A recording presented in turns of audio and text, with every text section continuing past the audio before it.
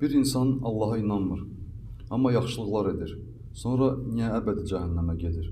Bu tipli sözləri bəzəkli paylaşımlarla sosial şəbəkələrdə paylaşırlar. Bismillahirrahmanirrahim. Ümumiyyətlə bilmək lazımdır ki, Allah heç kimin yaxşılığını yerdə qoymur. Ən birinci bilmək lazımdır ki, Allah heç kimin yaxşılığını yerdə qoymur.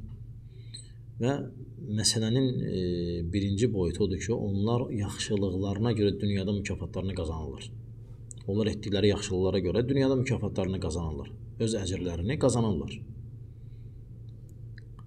Amma axirətdə onların payı olmayacaq. Çünki onlar o yaxşılıqları Allah üçün eləməmişdilər. Məsələn, eləmişdilər ki, desinlər yaxşı adamdır, yaxşı insandır, xeyirxahdır falan falan və onlar öz mükafatlarını bu dünyada alırlar. Onlara insanlar elə baxır. Əlaşıq, yaxşı falan. Amma onların axirətdə heç bir payı olmur. Nə üçün eləmişdilərsə, o üçün payı da alırlar. Bu məsələnin birinci tərəfi müsəlmanın yaxşılığına gəlincə isə müsəlman edən yaxşılıq artıq əcrlə əlaqəlidir. Nə üçün? Çünki o Allah Taala'dan istəyir və onu Allah üçün eləyir. Və burada e, istədiyindən və rizası üçün etdiyindən də gözləyir. Və o pay axirətə qalıb. Və bu o demək deyil ki, müsəlmana dünyada onun mükafatı verilə bilməz. Lakin onun istəyi Allahdan axirətdir.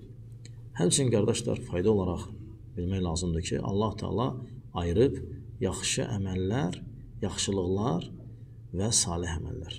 Belə məqamda alimlər ayırırlar. Yaxşı əməl hamı eləyə bilər.